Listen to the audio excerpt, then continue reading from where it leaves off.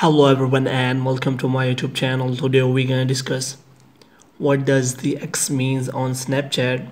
For example if you open the snapchat and if you open the chat of your snapchat then you will find many symbols here. If you see here then there is a camera symbol and there is a chat symbol. Then you see here the cross symbol here then what does this mean?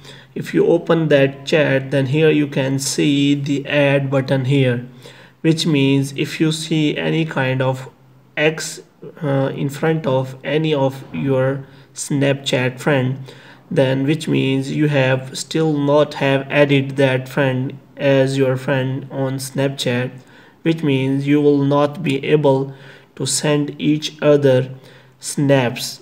And if you add that then you can see that x will be gone. After that that person has accepted your friend request. In this way you can add anyone and check whether which one of in your chats is still not added as your snapchat friend. Hope you have liked this video. Kindly subscribe our channel